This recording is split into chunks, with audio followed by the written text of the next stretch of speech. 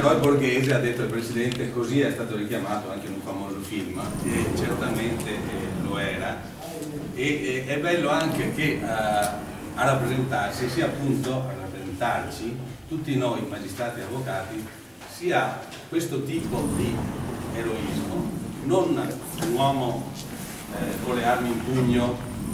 non un uomo che eh, si è reso valoroso in battaglia, ma un uomo che non ha ucciso nessuno e che eh, ha dimostrato il suo eroismo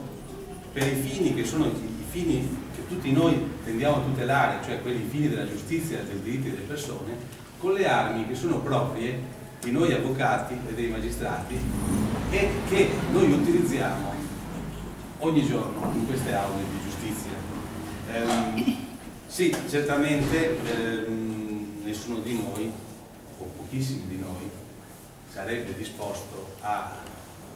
a fare quello che ha fatto Ambrosoli, cioè in nome di questa inflessibile tutela dei diritti e della legalità dare la propria vita.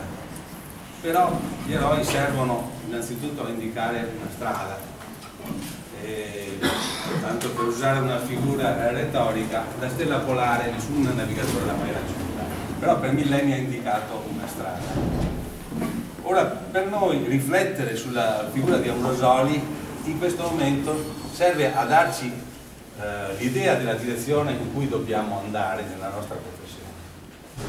Mi piace pensare che in questa aula, eh, tra qualche settimana, ehm, giureranno